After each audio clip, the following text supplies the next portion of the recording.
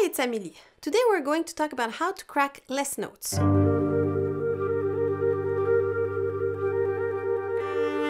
would start by saying that support is a very big part of that. If you don't support enough, there will be more instance of cracking. So um, very often I hear people cracking the first note. Uh, what I have to say is that uh, sometimes we tend to think that the tongue tonguing is about um, bringing the tongue forward, but in fact, it's about releasing the tongue. So, what you can do is place your tongue and have the air already prepared and just release the tongue and let the air come out once you're ready to start. So, let's say if I start on a soft B.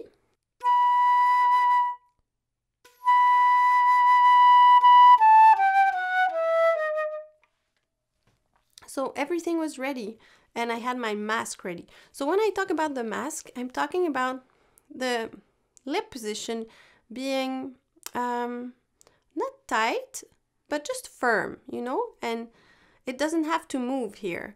And the more you move, the more chances of cracking notes. So let's say you have uh, someone who tongues and moves a lot, as if they were eating something in between each note, you know. So and some people move a lot here. Each note that they tongue, they go. And there's way more risk of losing your sound because your sound, if you want it centered, it's very simple. Just send the air in one spot. Usually playing the flute well is simpler than we think. Sometimes we tend to overcomplicate things.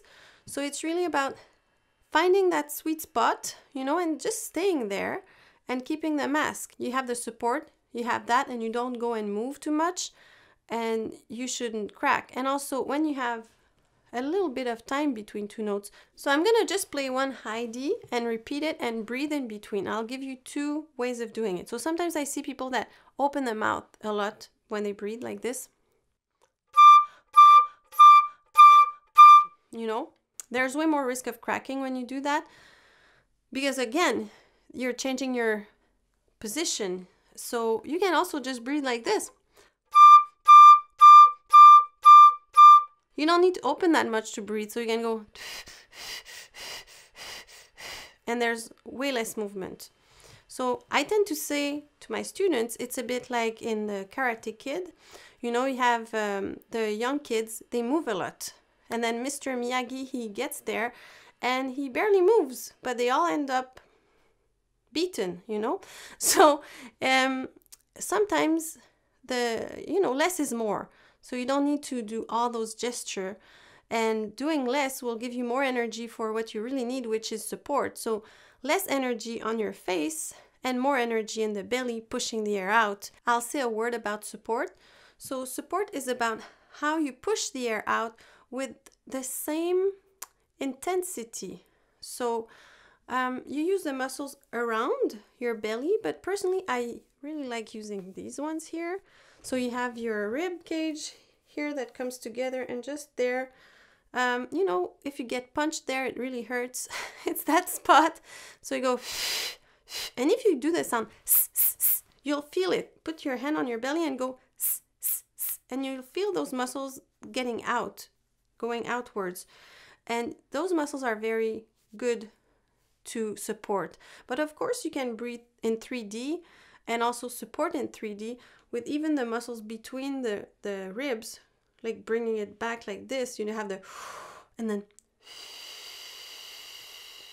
because it's about controlling that airspeed because that's what's gonna give your sound.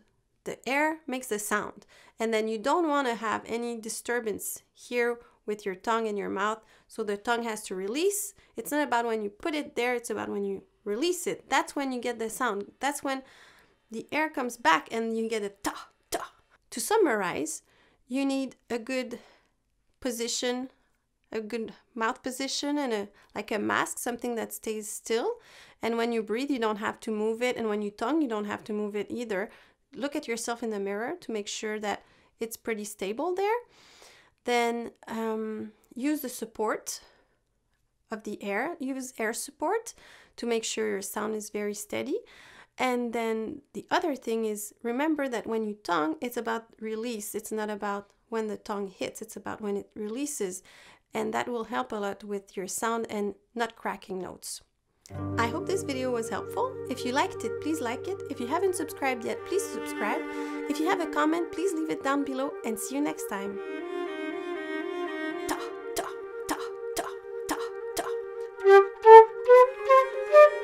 thing. I,